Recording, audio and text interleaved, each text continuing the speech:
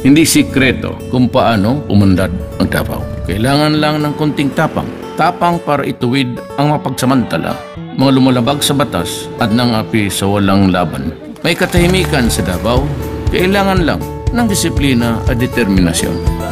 Dumami ang trabaho, nagpag-aral ang mga bata, sumaya ang bawat pamilya. Pwedeng magkaganito ang buong Pilipinas. Kailangan lang ng tapang at malasakit.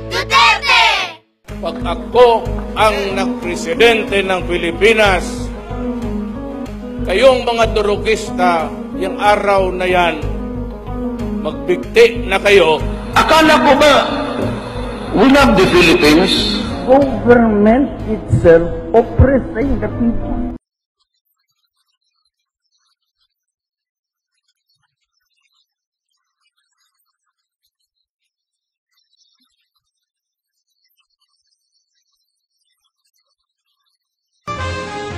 In the 1988 elections, a former fiscal and the son of the last governor of Davao province rose to prominence.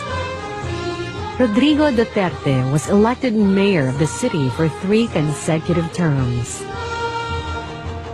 Under his stewardship, peace and stability returned to the city. Davao was again enjoying years of unhampered economic progress. In the late 1990s, as a testament to the city's growth and competent governance, Davao was ranked by Asiaweek magazine as one of Asia's most livable cities.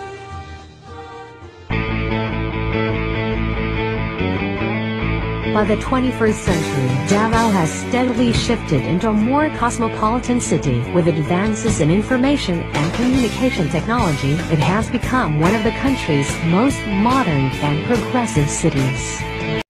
Hindi ko makaya mag-upo-upo ko dyan sa opisina ko tapos knowing that people are suffering because of the greed.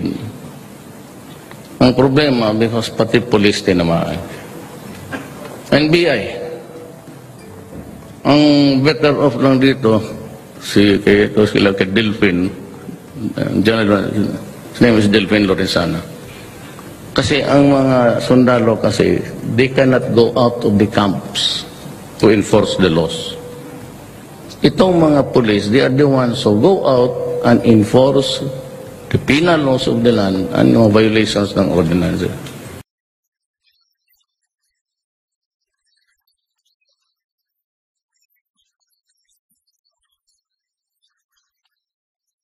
Nahuhulog na yung train dyan sa release. Natitirik na, ako ang presidente magano ka. Puntahan kita sa opisina mo, sipain kita.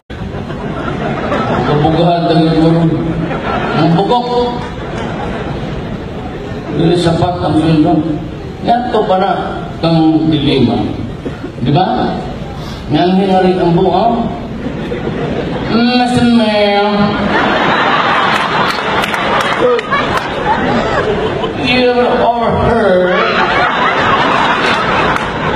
that one message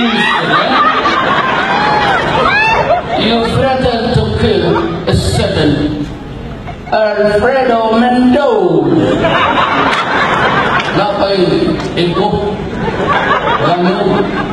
Mendoza.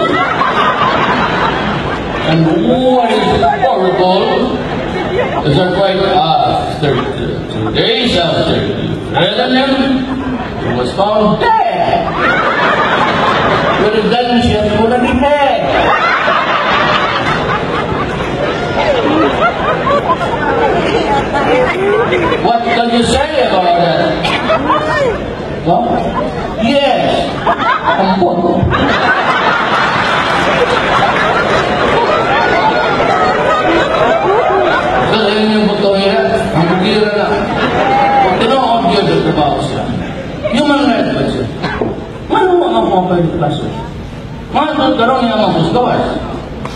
Si Eta, kanyang lula ko na.